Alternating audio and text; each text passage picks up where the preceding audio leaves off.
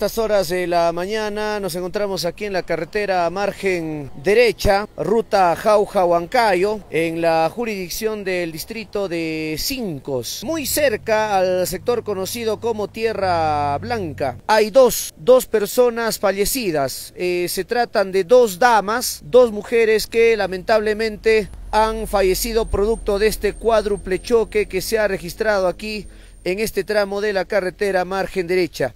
Tenemos información que entre los heridos se encuentran eh, profesores de algunos centros educativos y también abogados del Ministerio de Justicia que también viajaban con destino a Jauja para poder eh, incorporarse a sus actividades laborales y lamentablemente han sufrido este trágico accidente de tránsito. Eh, confirmamos de que son cuatro vehículos cuatro unidades vehiculares que han protagonizado este accidente de tránsito.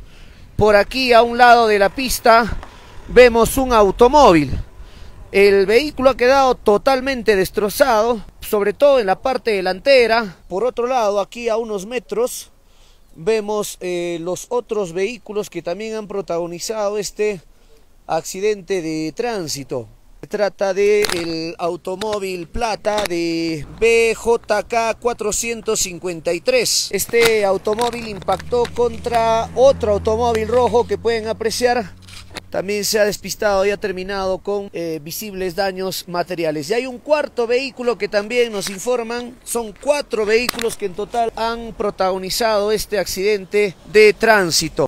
Ahí vemos el cuarto vehículo de placa W4R450. W4R 450 es, 450 es la placa de este vehículo. Eh, entendemos de que estas unidades se desplazaban en la ruta Jauja-Huancayo.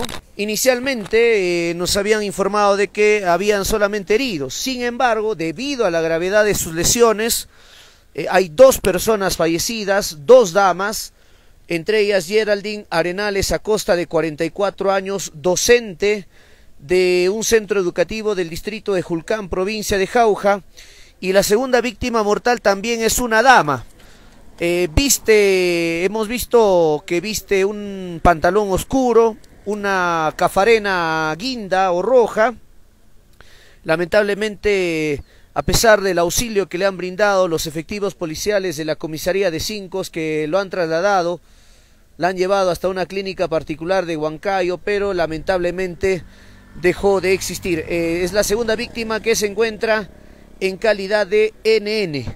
No se ha podido identificar en estos momentos se está haciendo eh, todo el esfuerzo para poder tratar de eh, comunicar a los familiares respecto a la muerte de una mujer en calidad de nene en este trágico accidente de tránsito.